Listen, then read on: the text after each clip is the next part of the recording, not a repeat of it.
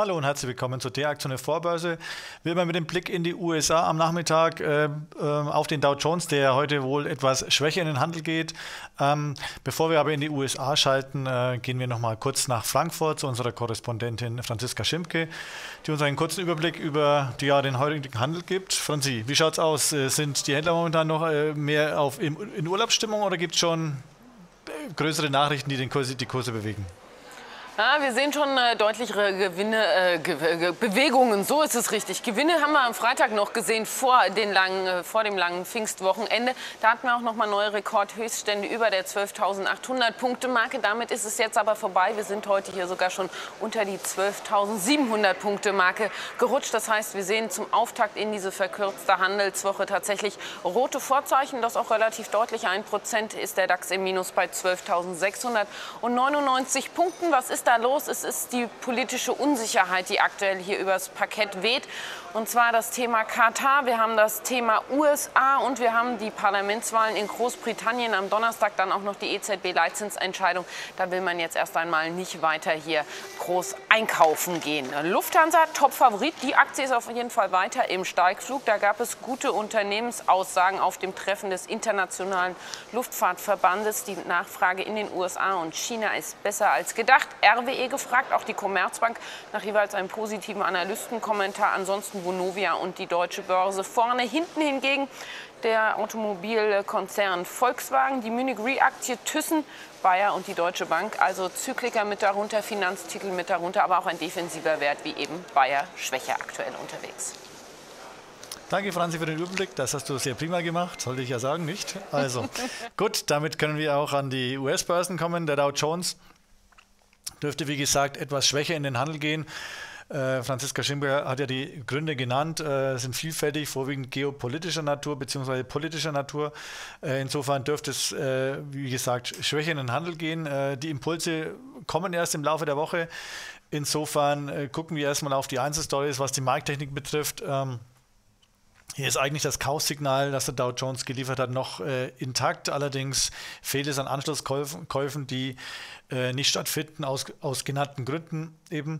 Und es kann durchaus sein, dass wir dieses Signal vielleicht nochmal e-, egalisieren, aber ich gehe nicht davon aus, dass wir eine größere Schwäche sehen werden. Äh, man muss natürlich warten, wie die weiteren Impulse jetzt werden, aber grundsätzlich sieht die, äh, der Rahmen äh, ganz gut aus. Wir sind in einem intakten Aufwärtstrend. Insofern gibt es aktuell keinen Grund zu größere Sorge.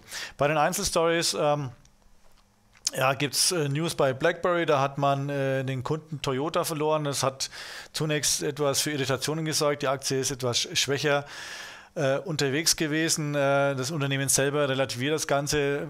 Es geht ja vorwiegend um die Tochter QNX, darüber haben wir im Aktionär schon berichtet, die eine Software für autonome Fahrzeuge ähm, ja, im Portfolio hat, die ja sehr stark genutzt wird. Nvidia beispielsweise setzt auch darauf. Ähm, Toyota hat sich jetzt allerdings für eine Open-Source-Lösung ähm, entschieden, allerdings vorwiegend im Bereich Infotainment, also die Einbindung von ähm, Telefon äh, und äh, Unterhaltung. Äh, insofern denke ich, dass das äh, Wachstumsthema autonomes Fahren, was QNX ja hier auszeichnet, eher weniger tangiert wird. Also die Aktie trotzdem noch relativ stark unterwegs und ich glaube nicht, dass es zu einer größeren Schwäche führen wird.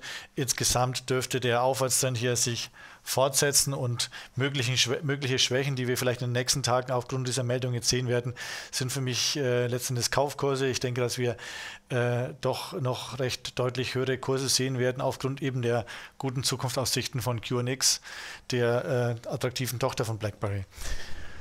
Bei äh, Tesla gab es äh, ebenfalls kleinere News. Äh, man verkauft jetzt wieder in Nevada Solarpanels ähm, für die Dachintegration, nachdem man juristisch wieder vorangekommen ist dort. man hat ja da, wurde ja die, die, die, die, Ab, die die Abnahmeverpflichtung erstmal aufgehoben von der juristischen Seite her, von dem, vom Regulator. Insofern, das wurde jetzt relativiert. Ähm, die Aktie mitten im neuen Hoch äh, unterwegs, ähm, nicht unbedingt wegen dieser Meldung, aber äh, die Aktie läuft äh, weiter wie am Schnürchen nach oben nach einer recht äh, ja, längeren ähm, Konsolidierungsbewegung. Für mich nach wie vor zu teuer, sie läuft aber trotzdem. Ähm, wie gesagt, Aufwärtstrend ist völlig intakt. Von der Markttechnik her absolut äh, ein brillantes Bild. Insofern, äh, wer dabei ist, sollte sich gerne freuen. allerdings den Wert auch mit einem Stopp nach unten absichern. Bei äh, Apple gab es eine kleinere Kooperation mit Green Dot, ähm, nachdem man ja gestern auf der Developer-Konferenz äh, zum einen die Payment-Lösung bekannt gegeben hat, die ja jetzt Grund äh, oder Basis dieser Kooperation ist. Green Dot ist ein Anbieter von äh, Prepaid-Karten, ähm, denen man jetzt zusammenarbeitet. Äh, die Aktie, habe ich schon heute Morgen gesagt, ist weiterhin im Aufwärtstrend. Es kann durchaus sein, dass wir hier nochmal eine kurzfristige Schwäche sehen werden, wenn der Markt etwas schwächer läuft. Im Bereich von 130 ist der, der Wert aber absolut wieder kaufenswert. Ähm, grundsätzlich äh, gab es auch zuletzt jetzt neue äh, Analystenkommentare, die jetzt Kursziele von 170 Dollar sehen. Insofern äh, von der Analystenseite hier absolut grünes Licht, von der Markttechnik ebenfalls. Also wie gesagt, 130 äh, Euro wäre für mich nochmal eine Gelegenheit zum Einstieg. Ähm, interessant wird es heute auch bei General Motors, da ist ähm, Hauptversammlung wo über den Vorschlag oder die Forderung von äh, David Einhorn äh, diskutiert wird. Äh, der will ja die die Aktiengattungen aufsplitten in eine dividendenorientierte und in eine wachstumsorientierte Aktie. Ähm, und gleichzeitig sollen äh, zwei Vertreter von äh, Einhorn in den Aufsichtsrat wechseln.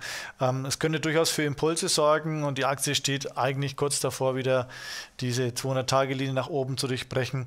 Allerdings angesichts des äh, etwas angeschlagenen Gesamtmarkts glaube ich nicht, dass es heute oder in den nächsten Tagen der Fall sein wird. Wenn doch, dann hat der Wert durchaus Potenzial Richtung 36 Euro zu laufen, äh, würde auch passen, äh, wenn ein aktivistischer Investor wie Einhorn jetzt am, am, Werk ist, dass hier durchaus neue Impulse gegeben werden. Also mit einem Kaufsignal im Rücken könnte man hier durchaus eine erste Position äh, ansteuern. Das war's für den Moment. Äh, ich wünsche Ihnen einen erfolgreichen Handelstag, auch wenn dieser etwas dürftiger ausfallen wird. Bis morgen.